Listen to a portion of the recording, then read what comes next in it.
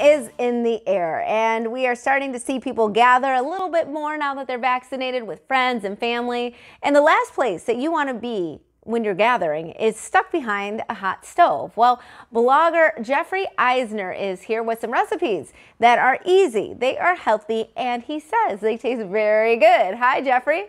Hi, Elsa, and hi, Baltimore.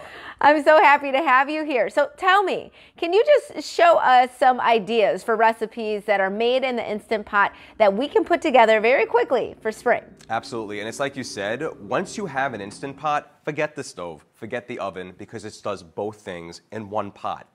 So what I love about the Instant Pot, not only that, is also how conveniently quick it is to cook in.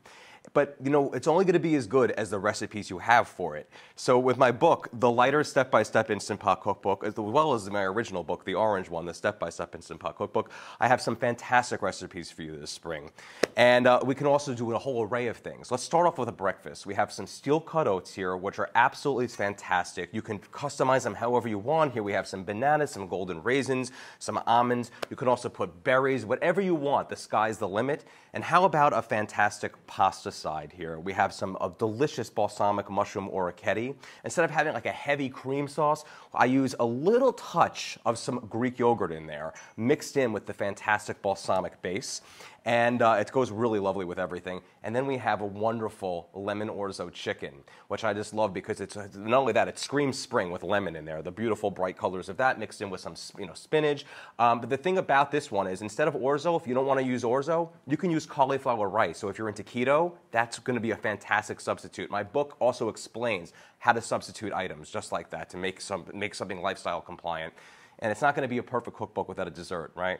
So here's some banana bread for you, except there's a catch. There's no flour in this banana bread. It's almond flour. So it makes it gluten free and it's still going to be super moist and delicious. My four-year-old niece, she couldn't get enough of it. You can totally, totally swap ingredients out for something that's going to be a little bit lighter. So let's say, for instance, if a recipe calls for maybe dredging your chicken in a little bit of flour, instead of using regular flour, you can use whole wheat flour or even like a quinoa or coconut flour. Because again, if you're into the keto lifestyle or paleo, which are absolutely all the rage these days, that's a great way to compromise in that situation. Um, and also, by the way, if you have any leftovers, because my recipes do make a lot, some of these Pyrex things right over here, but you can have a little divider. Perfect. Perfect, because you could have the sauce separated, like from the lemon orzo chicken, from the chicken itself. It keeps it nice and perfect that way. And tell us how you guys started cooking in the Instant Pot to begin with. My whole entire life, I used to love cooking, and uh, it was my therapy. I was in a job I didn't really love, and cooking was a way for me to unwind at the end of the day. And I love gadgets and appliances. So about four years ago, when the Instant Pot came to be, uh, I was hooked instantly, and I saw there was a revolutionary new way of cooking all in one pot because I hate mess and I hate cleanup, and this solved the answer for me. Okay, where should we follow you first and foremost? And of course, where should we get the book? You can get the book anywhere books are sold Amazon, Barnes & Noble, Target, Walmart, or support your local indie stores. And you can follow my recipes as well at pressureluckcooking.com. Just Google Pressure Luck, you'll find me. All right, Jeffrey Eisner, thank you so much for being with us. We really appreciate it. And we'll be right back with more Midday Maryland right after this. Stay tuned.